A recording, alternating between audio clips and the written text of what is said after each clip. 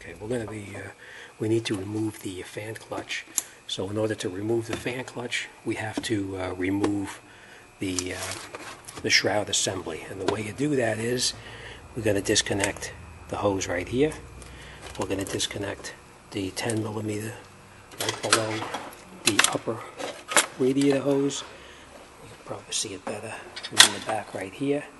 We're going to disconnect that 10 millimeter screw there.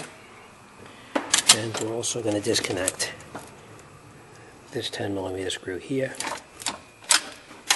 We'll take these off, push that little clip in and lift it up.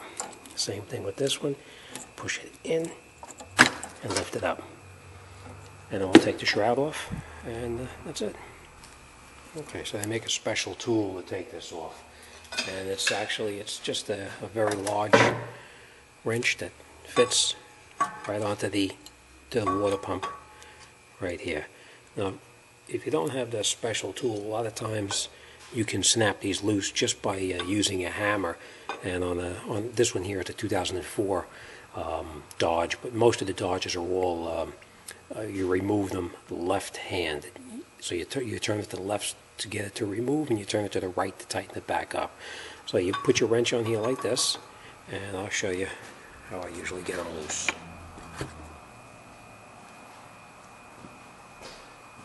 You know it's going to be turning left, take your hammer, just it, and give it a couple of good shots. And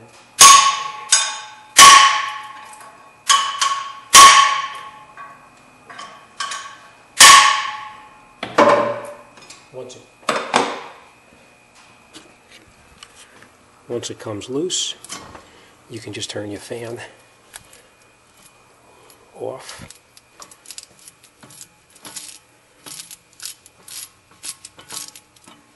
And that's it. Remember, it's left to take it off, right to turn it on.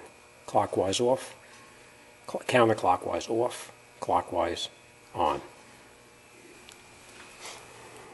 And the way you uh, reinstall it is you just catch the threads and turn it till it's all the way on. Take your wrench, put your wrench onto it, tighten it until it's as tight as you can, and I'll show you what we do next.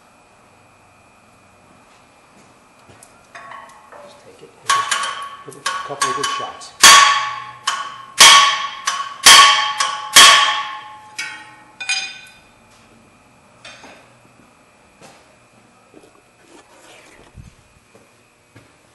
That's it. It locks it right on where it's supposed to be.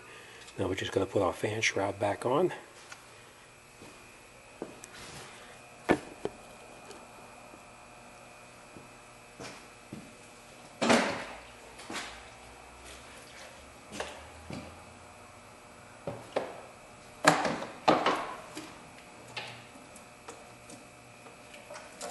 Make sure all your wiring is out of the way.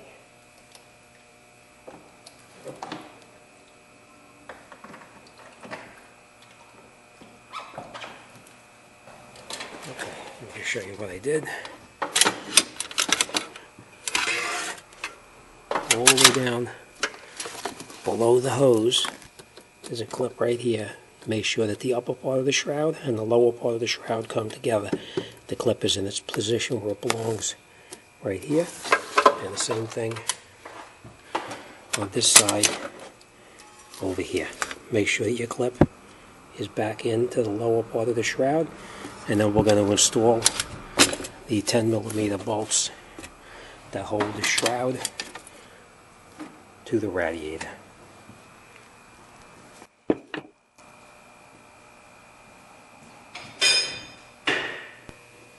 Okay, once you've got the bolt tights, we're just going to reattach the pumps and they snap right in.